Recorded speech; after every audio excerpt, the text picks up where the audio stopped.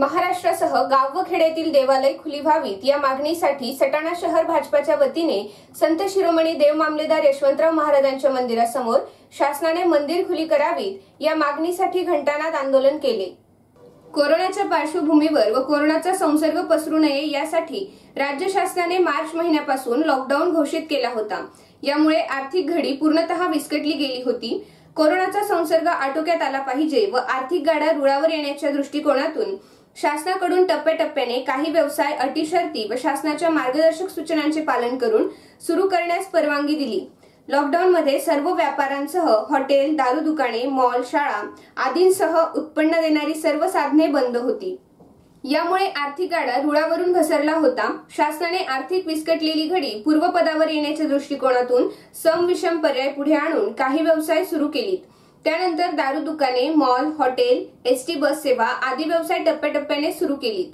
यामुळे कोरोना संसर्ग किती आटोक्यात येऊ शकतो याचा अंदाज शासनाने घेऊन बहुतांशी व्यवसायांमध्ये सवलती देऊन व्यवसाय सुरू केलेत. मंदिर मस्जिद गुरुद्वारा यासह जिम्स शाळा क्लासेस आजही बंद आहेत. गाव व खेड्यांसह राज्यातील धार्मिक स्थळे शासनाने खुली करावीत अशी मागणी वरिष्ठ नेत्यांनी राज्य शासनाकडे करून राज्यातील प्रत्येक गावामध्ये देवालये उघडण्यासाठी घंटानाद आंदोलने करण्याचा निर्णय घेतला. फुलहार नारळ पूजेचे साहित्य प्रसादालय आदी व्यवसाय धार्मिक स्थळे बंद असल्यामुळे धोक्यात आले आहेत. ते खुली करण्याची मागणी सातत्याने केली जात आहे. आज सटाणा शहर भाजपाने तालुक्याचे ग्रामदैवत देव मामलेदार यशवंतराव महाराज यांच्या मंदिरासमोरील पटांगणात घंटानाद आंदोलन केले.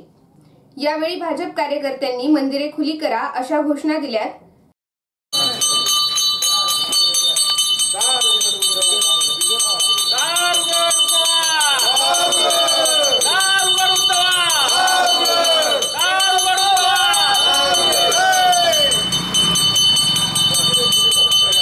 मंदिरं खुली मंदिरं खुली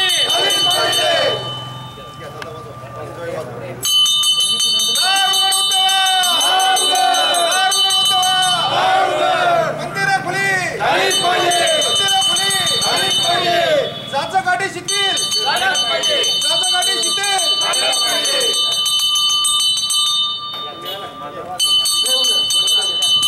दार उघड उदा, दार उघड. मंदिरं खुले मंदिरं खुले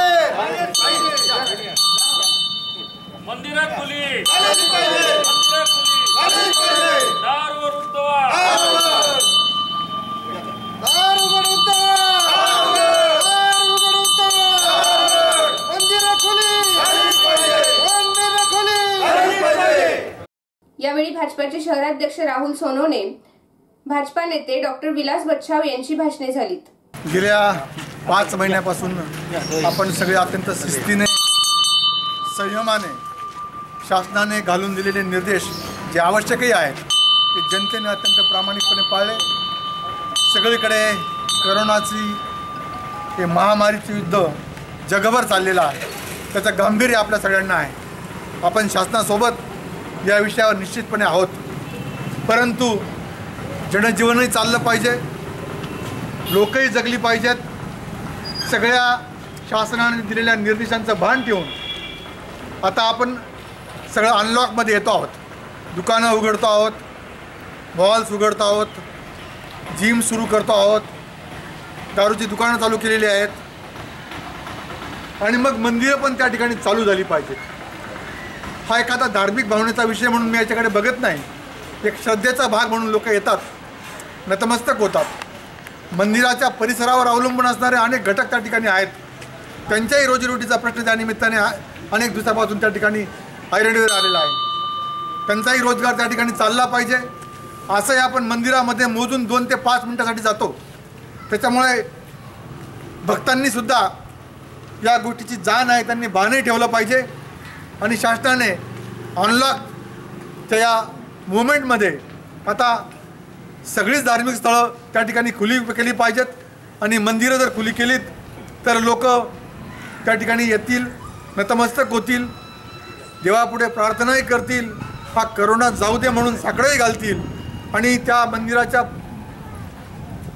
भोवतालच्या घटकांचे पुष्पहारवाले असतील प्रसादवाले असतील असे अनेक घटक आहेत त्यांची उपजीविका या निमित्ताने चालू होईल.